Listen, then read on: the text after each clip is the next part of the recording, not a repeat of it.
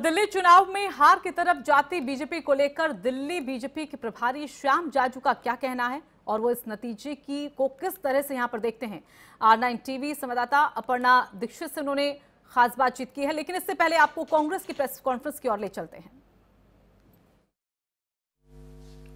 और इस संदेश को सर झुकाकर विनम्रता से स्वीकार करते हैं।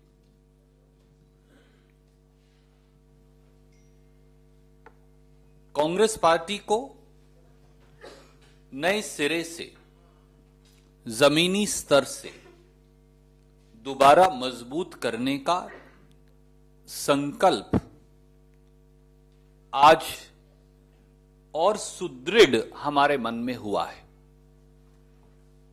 कांग्रेस के कार्यकर्ता और साथी,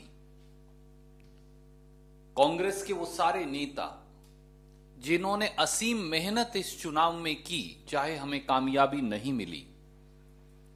भारतीय राष्ट्रीय कांग्रेस और दिल्ली प्रदेश कांग्रेस कमेटी की ओर से हम उनका भी धन्यवाद करते हैं। और कांग्रेस के और दिल्ली के साथियों को आश्वस्त करते हैं कि एक सजग विपक्ष के तौर पर दिल्ली के ढांचागत विकास दिल्ली की पानी बिजली सड़क कानून व्यवस्था समस्या, बेरोजगारी, अर्थव्यवस्था की बहदूदी। उस पर भारतीय राष्ट्रीय कांग्रेस के कार्यकर्ता और नेता नज़र भी रखेंगे और दिल्ली की जनता की आवाज़ आगे बढ़ाते रहेंगे।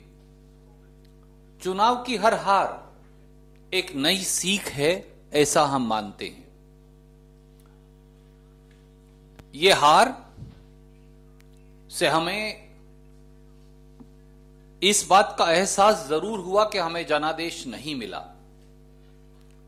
पर कांग्रेस के कार्यकर्ता और नेताओं में निराशा नहीं, एक नया संकल्प है नव निर्माण का, जमीनी स्तर से लेकर आगे बढ़, बढ़ने का। और उस नव निर्माण के संकल्प के साथ एक बार फिर एक बेहतरीन दिल्ली का नक्शा लेकर हम अपना कार्य करते रहेंगे। अब मैं श्री सुभाष चोपड़ा जी से दरख्वास्त करूँगा कि वो आपको ओपनिंग रिमार्क्स देंगे और कीर्ति आज़ाद जी और फिर हम आपके प्रश्न लेंगे।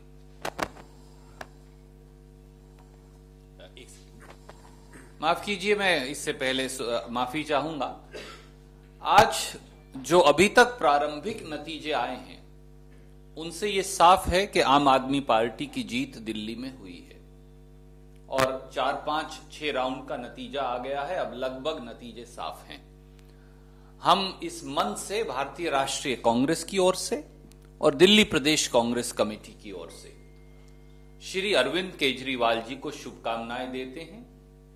दिल्ली में अगले पाँच साल शासन के लिए और सकारात्मक सहयोग और आलोचनात्मक भूमिका।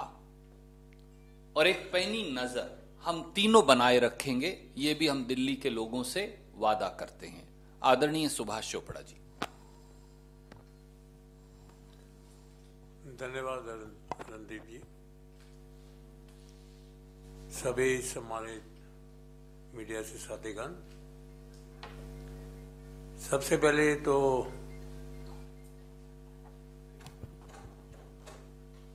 मैं दिल्ली की जनता ने, जैसे मेरे भाई रणदीप जी ने कहा, उनके जनादेश को के सामने शीश झुकाता हूँ।